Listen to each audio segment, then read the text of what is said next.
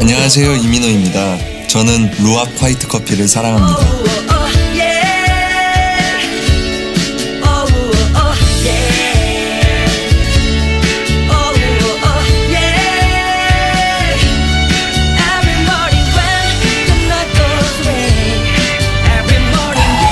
좋다.